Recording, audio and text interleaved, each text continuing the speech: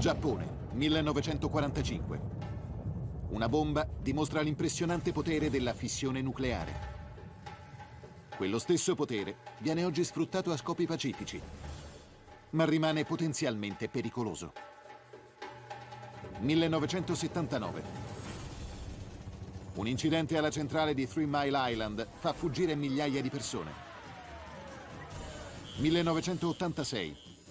Un'esplosione e un meltdown completo a Chernobyl in Ucraina gettano nel panico l'Europa. Da allora le centrali nucleari sarebbero dovute diventare più sicure. Ma nel 2011 l'impianto di Fukushima viene prima scosso da un terremoto, poi da un gigantesco tsunami. Il Giappone piomba in un secondo incubo atomico.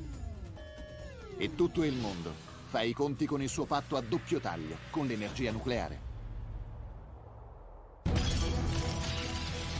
Un disastro non è un incidente isolato, ma una catena di eventi cruciali. Scoprite con noi quali siano i fattori critici fino a pochi secondi prima del disastro.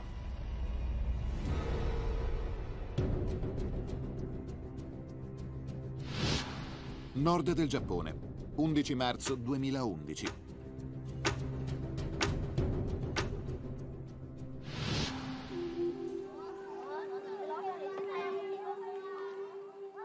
La maestra d'asilo Eriko Oriuchi è in classe.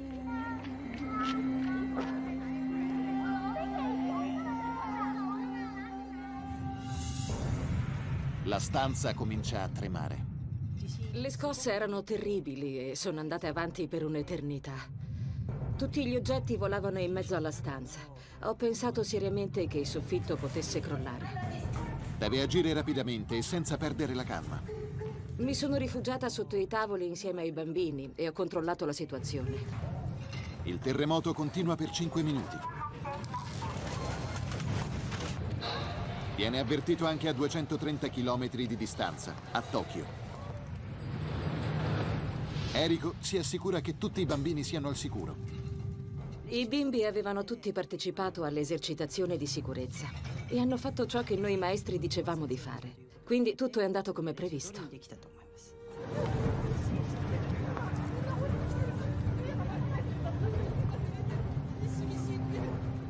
I grattacieli tremano e molti edifici crollano.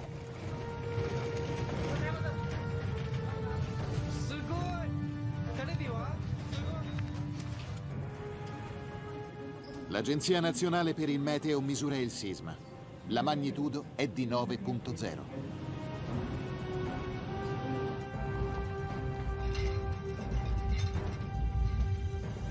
È il terremoto più potente mai registrato in Giappone. L'epicentro è in mare, a 130 km dalla costa, ma le prime immagini mostrano devastazioni nell'interno, in tutto il nord del paese.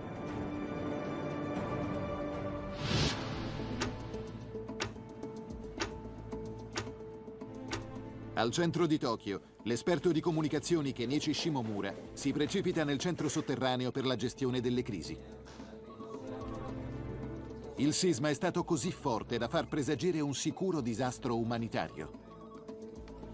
Il governo organizza in tutta fretta una riunione d'emergenza.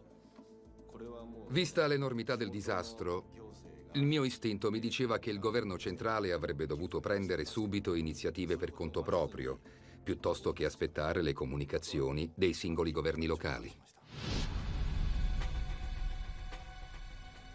Cinque degli impianti nucleari giapponesi si trovano nella zona colpita. Fukushima è il più grande e ha una potenza tale da fornire energia ad ogni casa di Tokyo.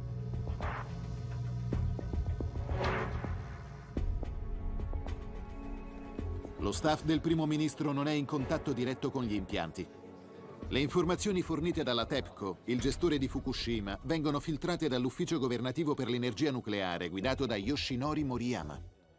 Subito dopo il terremoto abbiamo ricevuto comunicazioni dall'impianto di Fukushima. Dicevano che la normale fornitura di corrente elettrica era stata interrotta. Fukushima è a soli 178 km dall'epicentro del sisma.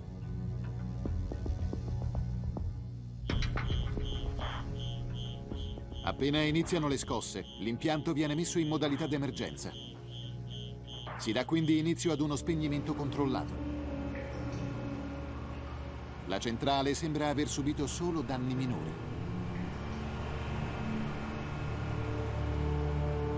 Ma il terremoto ha distrutto importanti linee elettriche che la alimentano.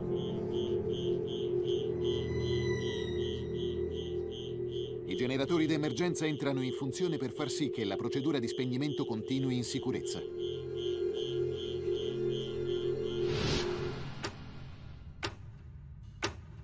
Ore 14.55.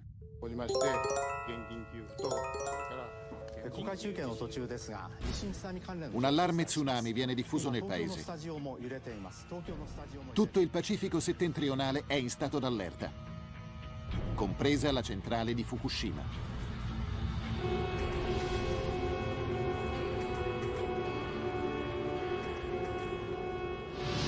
Alla scuola di Eriko nessun alunno è rimasto ferito durante il terremoto. Il piano d'emergenza prevede che l'istituto venga evacuato. Così Eriko fa salire i bambini sugli autobus che scendono verso le loro abitazioni, sulla costa. Nessuno qui ha sentito l'allarme tsunami.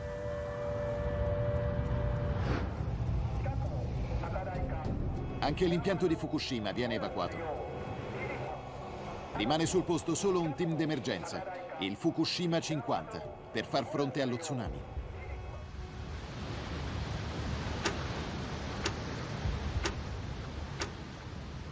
Su tutta la costa giapponese, le telecamere delle tv riprendono immagini delle onde che si abbattono sul litorale.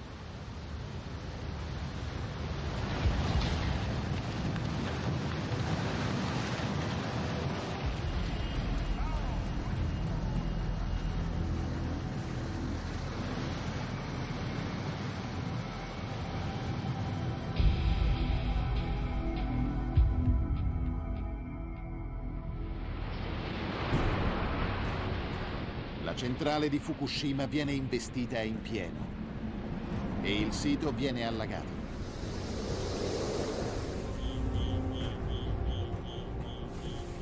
Il blackout è quasi completo.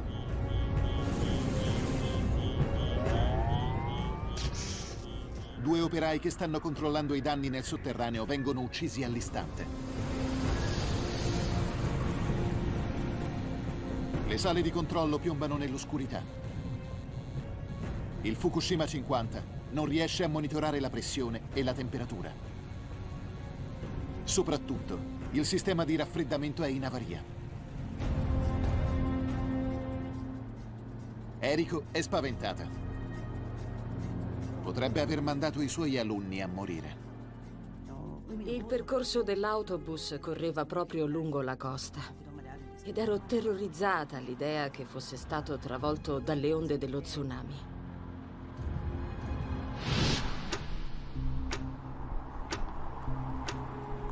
Al centro di gestione delle crisi arriva il primo ministro Naoto Kan e viene a sapere che l'impianto di Fukushima è rimasto senza energia elettrica.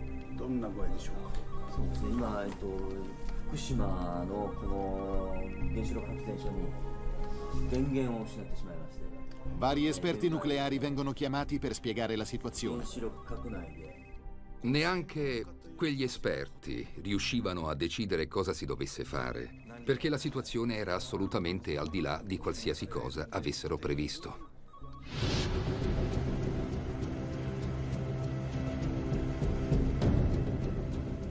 I direttori della centrale devono a tutti i costi raffreddare i reattori. Hanno bisogno di energia. Dovevamo mettere in funzione i generatori portatili. Era la nostra ultima risorsa.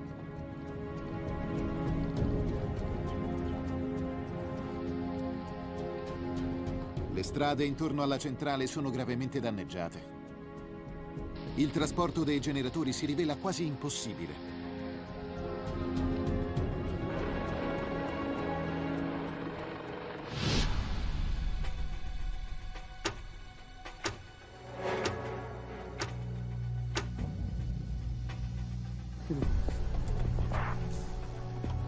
Nella sala controllo del reattore numero 1, gli ingegneri stanno cercando di scoprire cosa stia succedendo all'interno del reattore stesso.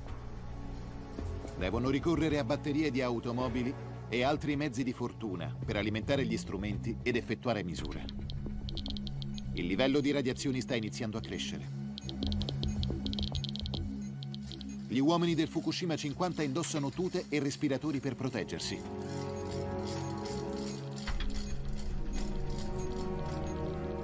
I loro strumenti indicano che anche la pressione all'interno del reattore sta salendo. Devono trovare un modo per farla calare al più presto.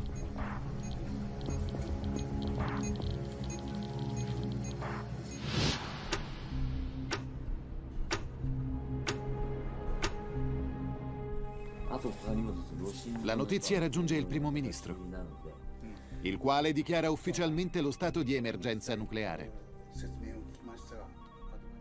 Ho sentito il primo ministro ripetere più volte, quasi a se stesso, la situazione è molto grave. Bisogna agire in modo deciso, ma le informazioni su cui lavorare sono pochissime.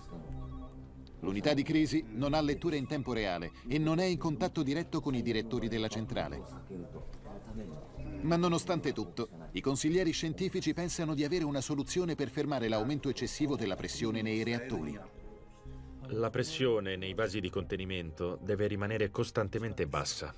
Per rilasciarla c'è una valvola. Una volta aperta, la pressione viene scaricata all'esterno. I consiglieri del primo ministro raccomandano di aprire le valvole per scaricare vapore.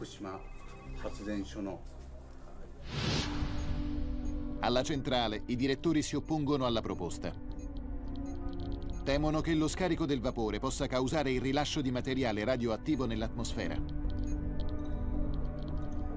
Ma dopo l'ordine del gruppo di crisi, il Fukushima 50 cerca di localizzare le valvole di sicurezza. Potendo contare solo sulla luce di torce elettriche non è un compito semplice. E i contatori Geiger portatili rivelano l'aumento dei livelli di radiazioni. Potrebbe essere dovuto al fatto che il reattore stesso è stato danneggiato durante il terremoto.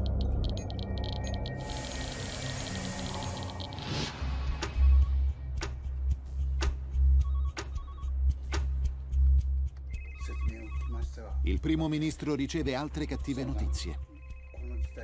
I generatori mobili sono arrivati alla centrale, ma è sorto un problema. Lo tsunami aveva sommerso il sito di detriti. Quindi i veicoli con i generatori mobili avevano grosse difficoltà a muoversi nella centrale e soprattutto a raggiungere gli edifici dei reattori. I cavi sono troppo corti per raggiungere i reattori. L'impianto rimane senza energia.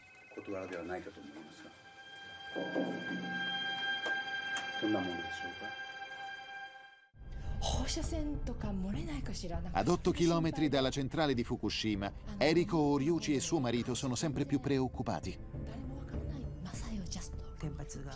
C'erano voci di fuoriuscite radioattive e che ci fossero grossi guai nella centrale. Da quel momento non mi sono più sentita sicura. Le autorità locali non confermano le voci. Il marito di Eriko, lo svizzero Dominic, raccoglie informazioni dalle agenzie di stampa internazionali. Avevo ancora accesso ad internet, così ho iniziato a leggere i giornali stranieri. Erano tutti molto espliciti sulle dimensioni del disastro. E poi mia moglie mi ha detto che giravano voci che la centrale avesse dei problemi. A quel punto abbiamo deciso di partire appena possibile. Le strade erano danneggiate, non sapevamo come lasciare la zona. Abbiamo deciso di rimandare la partenza alle 5 del mattino. Percorrere le strade danneggiate al buio sarebbe troppo pericoloso. Eriko e la sua famiglia decidono di aspettare l'alba.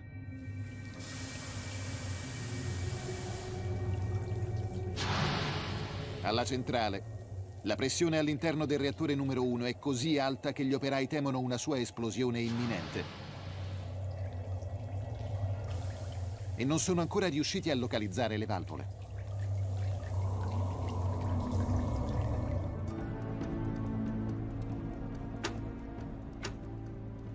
Sabato 12 marzo.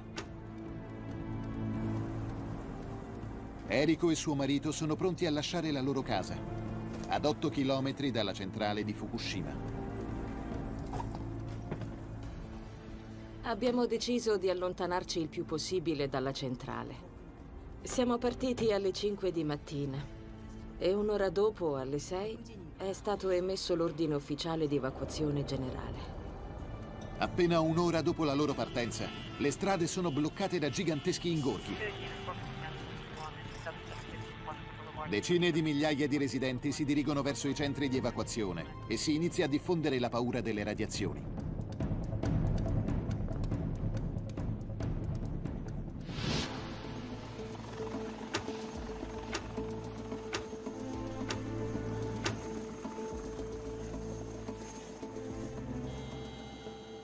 Frustrato dalla mancanza di comunicazioni con la centrale, il primo ministro Naoto Kan decide di visitarla di persona. Abbiamo volato per chilometri e chilometri, sopra uno scenario sempre uguale a perdita d'occhio. La regione era invasa dall'acqua e non riuscivamo a capire dove finisse la terra e iniziasse il mare.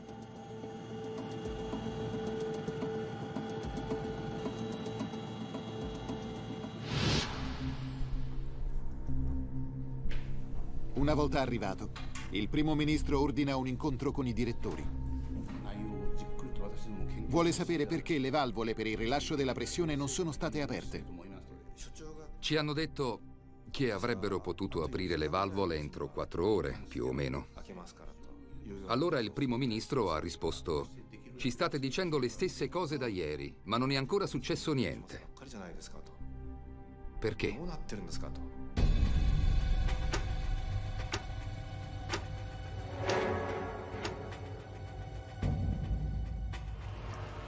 Scoprire le valvole giuste nel buio pesto, con livelli di radioattività sempre più alti, è molto pericoloso. Un operaio è già stato portato in ospedale a causa dell'eccessiva esposizione alle radiazioni. Quando le valvole vengono scoperte, la mancanza di energia elettrica le rende estremamente difficili da aprire. Normalmente vengono manovrate con grossi macchinari alimentati dalla rete elettrica. Il Fukushima 50 deve fare lo stesso lavoro servendosi di batterie da automobile e forza bruta.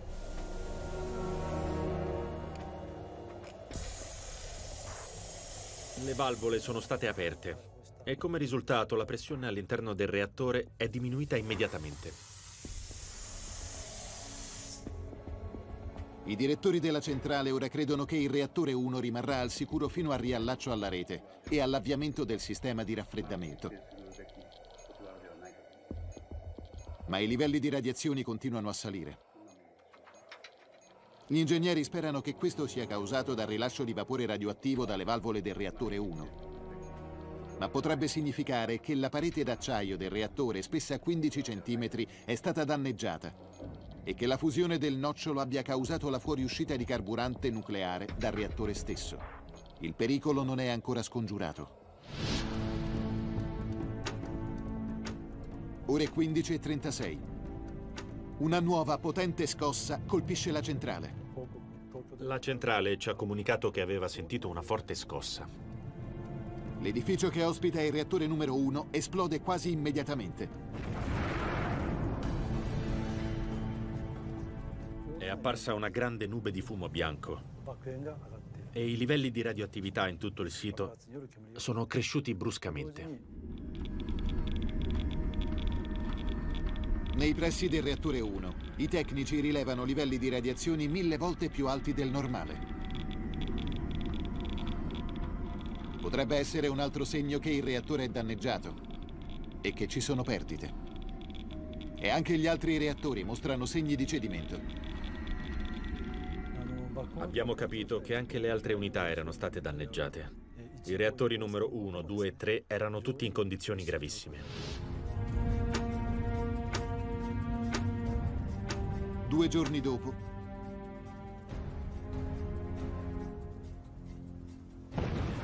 un'esplosione ancora più forte distrugge l'edificio che ospita il reattore numero 3.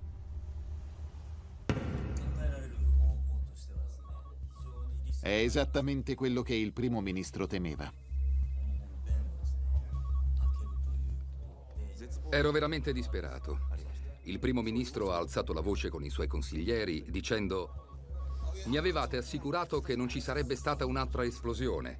Perché è successo questo? Il Premier teme una catastrofica fuoriuscita di materiale radioattivo. Un timore condiviso dal resto del mondo che segue gli eventi in diretta in televisione. In poche ore, i livelli di radiazioni nella centrale crescono ulteriormente. Il Fukushima 50 continua a non avere alcun controllo sui reattori. Il primo ministro Naoto Kan è costretto a dare alcune brutte notizie in un'apparizione televisiva. Il rischio di ulteriori fuoriuscite di materiale radioattivo dai reattori è sempre più alto. 180.000 persone sono ora costrette a cercare un rifugio temporaneo lontano dalle loro case, senza alcuna idea di quando potranno ritornarvi.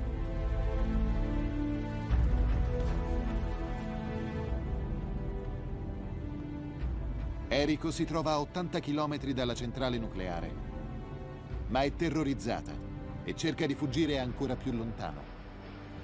Abbiamo deciso di andare all'estero, ma non c'era neanche un posto disponibile. Speravamo di poterci allontanare una volta arrivati all'aeroporto, ma i voli erano tutti pieni per il Giappone e per l'estero. Eriko e la sua famiglia sono costretti a rimanere dove sono e a sperare di non venire contaminati.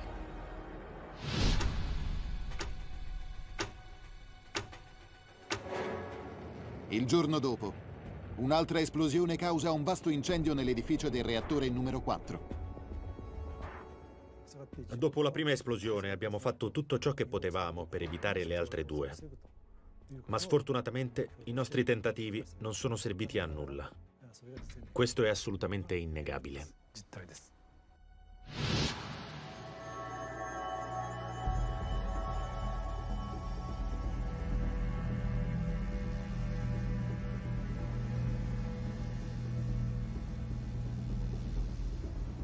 Quando il fuoco si spegne, dall'edificio del reattore numero 4 si alza del vapore, un segnale che le barre di carburante esauste immerse nelle vasche di raffreddamento potrebbero essersi surriscaldate, causando ulteriori perdite, o ancora peggio, che si siano fuse. I direttori della centrale provano a sommergere le barre per raffreddarle. Elicotteri Chinook che iniziano a scaricare acqua dall'alto. Viene usata acqua di mare, che corroderà i macchinari e danneggerà i reattori in modo irreparabile. Ma il forte vento rende impossibile dirigere l'acqua in maniera efficiente. E i livelli di radiazioni nel sito sono così alti che il tentativo deve essere abbandonato.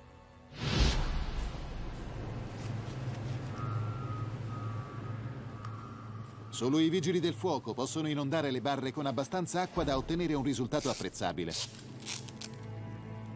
Ichiro Suzu viene richiamato dalle operazioni di soccorso allo tsunami per guidare una speciale task force.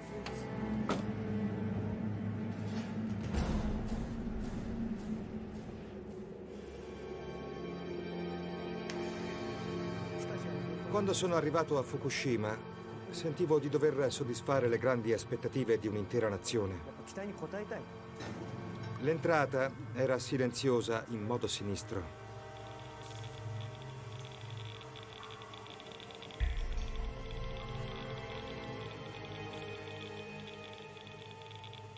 L'interno della centrale mi faceva venire in mente la scenografia di un film dell'orrore. Suzu e il suo team affrontano i pericoli del sito e passano giorni a spruzzare acqua sulle barre esauste.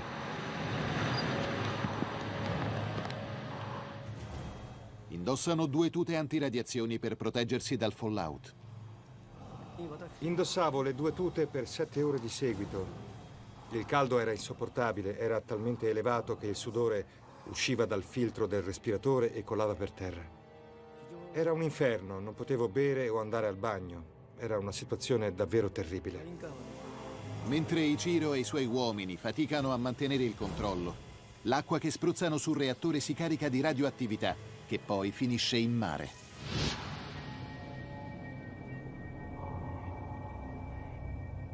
A 230 km di distanza, a Tokyo, circola la voce che questo potrebbe avere effetti sulle scorte di acqua potabile.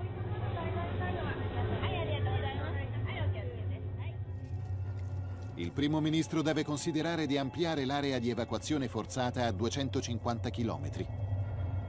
Significherebbe ordinare a 30 milioni di persone, l'intera popolazione di Tokyo, di abbandonare le loro case. Sarebbe una decisione senza precedenti, una decisione che nessun governo ha mai preso nella storia moderna. Ci vogliono più di due settimane per riportare l'energia elettrica alla centrale, ma ormai è troppo tardi per fermare il disastro e l'acqua radioattiva continua a scolare dai reattori. Il Giappone e il resto del mondo vogliono sapere cosa stia accadendo dentro la centrale. E cosa abbia veramente causato il disastro.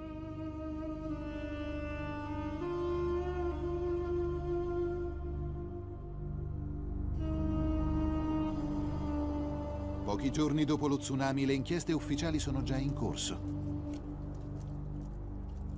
Il governo giapponese invita l'Agenzia di controllo nucleare delle Nazioni Unite a visitare il sito. Gli esperti internazionali lavorano insieme ai colleghi giapponesi per far fronte alla crisi in corso a Fukushima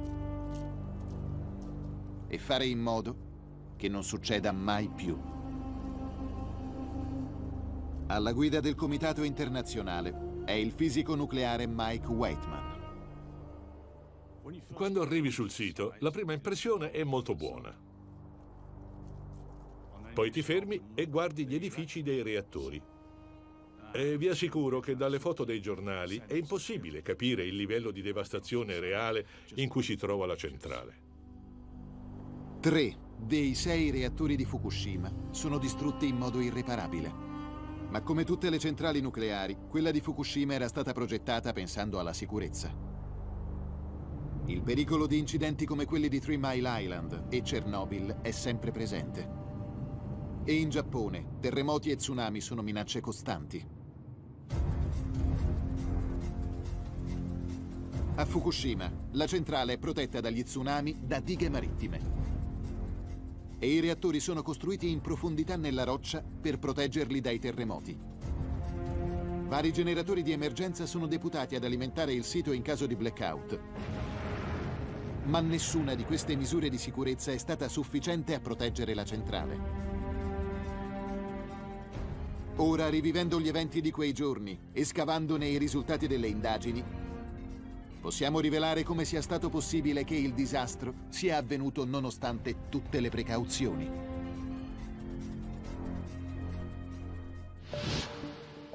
Mike Waitman esamina le difese di Fukushima per capire cosa sia andato storto trova alcune falle cruciali nel disegno originale della centrale e sospetta che i progettisti fossero troppo preoccupati dai terremoti e troppo poco dagli tsunami.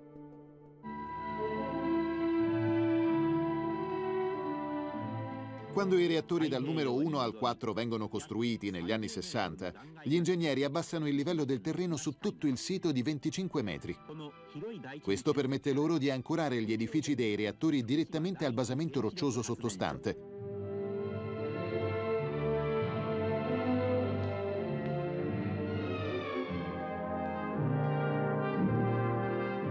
Lo stratagemma impedisce il crollo durante un terremoto ma li lascia vulnerabili agli tsunami.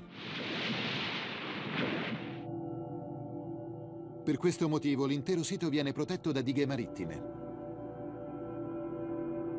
Sono in grado di respingere onde alte quasi 6 metri. Ma è evidente che lo tsunami le ha superate con estrema facilità. Le onde dello tsunami del 2011 hanno superato i 14 metri di altezza e hanno raggiunto direttamente il sito e gli edifici dei reattori. Quindi la stima dei progettisti si è dimostrata decisamente insufficiente.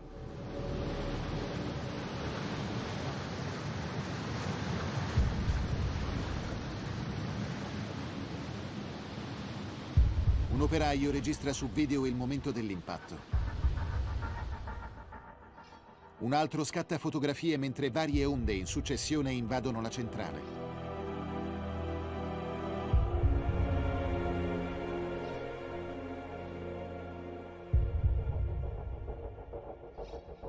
Le dighe marittime erano troppo basse. Questo semplice errore progettuale ha condotto a una catastrofica serie di eventi che ha messo la centrale in grave pericolo. Il terremoto causa un blackout generale. Il più forte sisma nella storia del Giappone abbatte numerose linee di distribuzione. Nel momento del terremoto, i reattori hanno automaticamente fermato le loro operazioni, come dovevano fare. Come previsto dalla procedura, entrano in funzione i generatori d'emergenza. Tutte le centrali nucleari hanno sistemi energetici di riserva. In questo sito, con sei reattori, c'erano 13 generatori diesel, i quali hanno funzionato come previsto. Ma poi arriva lo tsunami. Migliaia di tonnellate d'acqua invadono il sito simultaneamente, allagando i generatori diesel. I generatori diesel erano sistemati in fondo agli edifici delle turbine e negli altri livelli sotterranei del sito, e questo li ha lasciati alla mercé dell'inondazione. Le paratie anti-allagamento non possono nulla contro lo tsunami. La centrale rimane al buio. Gli ingegneri non possono controllare la quantità di calore generato nei vasi di contenimento dei reattori. La prima cosa da notare è che i vasi di contenimento dei reattori sono strutture enormi, grandi più o meno quanto autobus londinesi a due piani. Praticamente agiscono come bollitori. Nel cuore del reattore, le reazioni nucleari creano calore, il quale produce vapore, che a sua volta spinge le turbine. Quando non c'è più energia, si blocca l'afflusso d'acqua necessario a impedire il surriscaldamento del sistema. Ma le reazioni nucleari continuano e il carburante continua a produrre calore. Il raffreddamento è essenziale per garantire la sicurezza delle reazioni nucleari. Perché un reattore sia sicuro, deve essere raffreddato continuamente. I tecnici non hanno l'elettricità per alimentare le pompe di raffreddamento. Le barre di carburante si surriscaldano fino al meltdown. Questo scioglimento causa il rilascio di grandi quantità di radiazioni. E visto che i misuratori di pressione e temperatura sono tutti fuori uso, i tecnici non hanno idea dello stato interno ai reattori.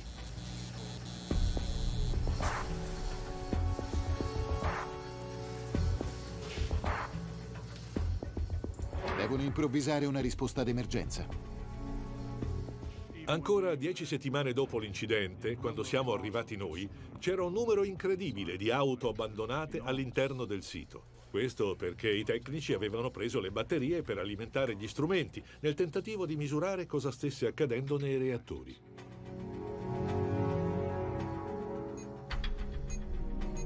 Le batterie delle auto forniscono ai tecnici brevi fotografie dello stato dei reattori. Come sapere quanta acqua c'è dentro i reattori? Dov'è quest'acqua? Qual è l'entità del flusso in tutti i sistemi? Alla fine sono riusciti a ottenere le misure. Grazie alle batterie, il Fukushima 50 può ottenere importanti misurazioni. E riesce anche ad aprire le valvole di sicurezza. Ma le letture offrono solo brevi istantanee di un sistema che si sta surriscaldando e che rischia il meltdown totale. Con i sistemi di raffreddamento fermi, non c'è niente che si possa fare per fermarlo. Soprattutto, il modo in cui la centrale è progettata porta a un altro problema irrisolvibile.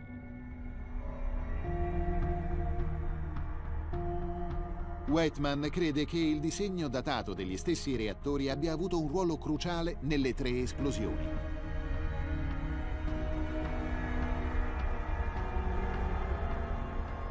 Le cosiddette barre contengono tonnellate di carburante nucleare e normalmente vengono raffreddate da un flusso continuo d'acqua. Ogni barra è rivestita da un sottile strato di un metallo raro, lo zirconio, che protegge le barre dal calore eccessivo senza impedire lo svolgimento delle reazioni nucleari. Ma al crescere della temperatura, lo zirconio diventa altamente reattivo. Nel nocciolo c'è molto zirconio e se si surriscalda oltre un certo livello inizia a reagire con l'acqua e il vapore creando idrogeno. Alcune stime mostrano che le temperature interne ai reattori hanno raggiunto i 2800 gradi Celsius. È abbastanza per produrre la reazione tra lo zirconio e il vapore.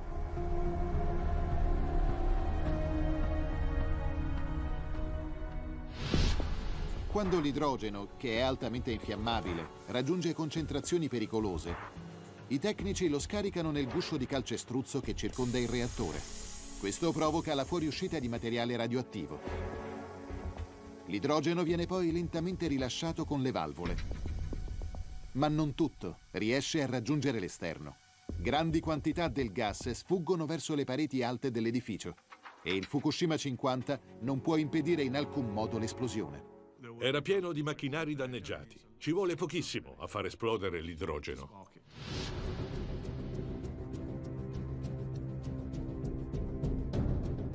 L'aumento della quantità di idrogeno causa due gigantesche esplosioni nei reattori 1 e 3 e un devastante incendio nel numero 4.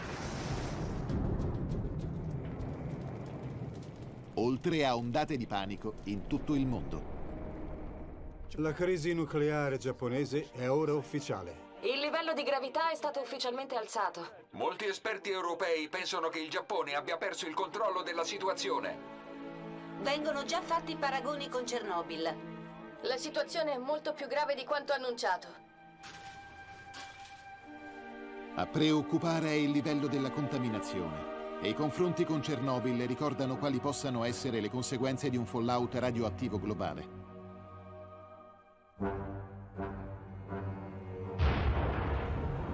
A Chernobyl, l'esplosione del reattore aveva fatto fuoriuscire nell'atmosfera 8 tonnellate di carburante nucleare.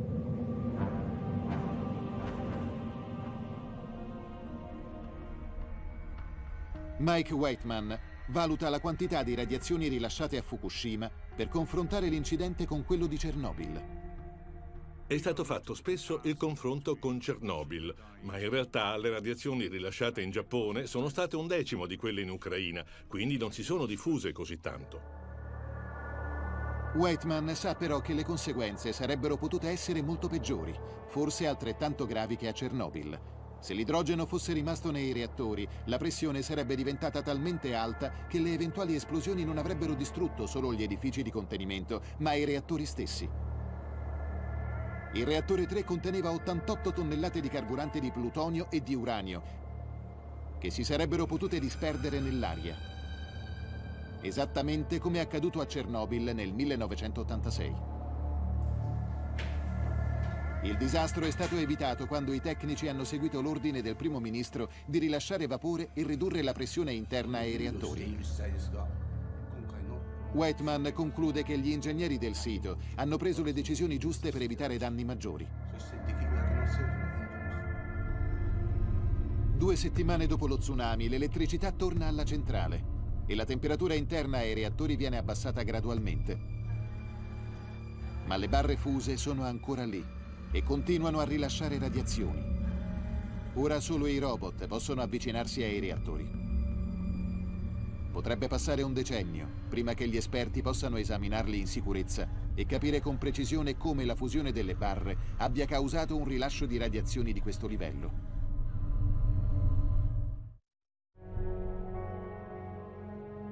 Sapendo come le difese della centrale abbiano fallito, causando una catastrofica serie di conseguenze, Mike Whiteman ora cerca di capire se la società che gestisce la centrale, la TEPCO, avrebbe potuto fare qualcosa per evitare il disastro. È probabile che ci siano state negligenze nei momenti precedenti allo tsunami. Nel 2002 la TEPCO prende parte a uno studio sull'impatto degli tsunami sulle centrali energetiche. Gli esperti conclusero che c'era lo 0% di probabilità che nei successivi 30 anni si verificasse un terremoto abbastanza forte da causare uno tsunami pericoloso per Fukushima. Si sbagliavano.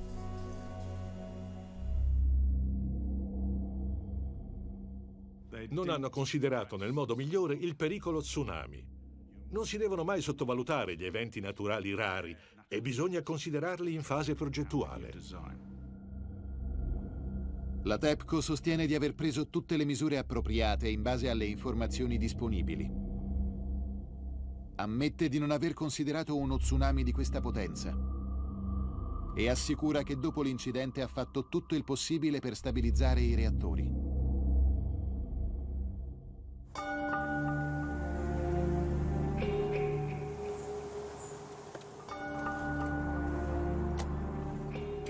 Dopo il disastro, Si levano numerose proteste sulla gestione della catastrofe. I residenti, come Erico, sostengono di essere stati informati male e in ritardo sui pericoli potenziali causati dalle esplosioni e danno la colpa sia alla TEPCO che al governo centrale.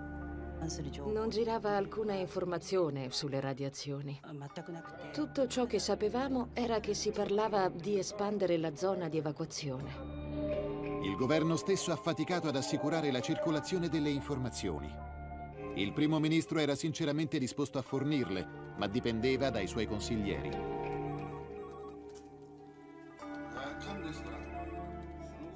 Immediatamente dopo l'incidente, il primo ministro ha chiesto agli esperti cosa pensate che succederà ora a Fukushima, ma nessuno è stato capace di rispondergli chiaramente. L'unica cosa che hanno detto con sicurezza è stato, visto il progetto della centrale, l'idrogeno non causerà esplosioni. Noi abbiamo pensato, se non possiamo credere a loro, allora a chi possiamo credere?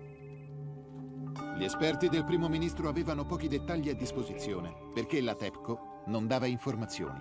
Cosa sapevano veramente i soggetti che avevano a che fare con la centrale di Fukushima, tra cui la TEPCO? Siamo sicuri che abbiano condiviso col governo tutte le informazioni? Il primo ministro Naoto Kan è rimasto coinvolto in eventi al di fuori del suo controllo. Cinque mesi dopo lo tsunami è stato costretto a dimettersi, senza che si intravedesse una possibile soluzione al disastro.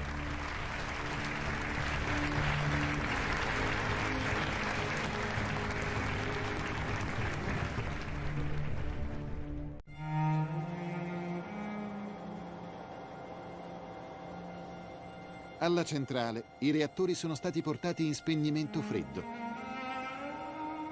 ma continuano ad essere pericolosamente radioattivi. È chiaro che l'incidente non è ancora completamente sotto controllo e passeranno anni prima di avere accesso a tutto il sito. Nonostante questo, la comunità mondiale ha imparato abbastanza da quanto è successo a Fukushima. Alcune nazioni hanno deciso che la lezione da imparare sia una sola. Nel maggio del 2011, due mesi dopo il disastro, la Germania decide di fermare il suo programma nucleare e concentrare i suoi investimenti nella ricerca sulle fonti energetiche rinnovabili. La Svizzera e l'Italia seguono l'esempio. Il Giappone soddisfa il 30% del suo fabbisogno energetico grazie al nucleare. In mancanza dell'apporto di Fukushima, Tokyo si trova spesso a corto di energia elettrica. Il nuovo primo ministro è deciso nel far continuare il programma nucleare nazionale. A Fukushima, gli operai che sono rimasti a lottare con la centrale e i vigili del fuoco come Ichiro Suzu, i veri eroi di questa vicenda, hanno ricevuto rassicurazioni dai medici. Ma anche qui ci vorranno anni prima che tutte le conseguenze vengano alla luce. La maestra Eriko non è riuscita ad andare oltre l'aeroporto. Oggi vive con la sua famiglia in un appartamento a circa 80 km dall'impianto.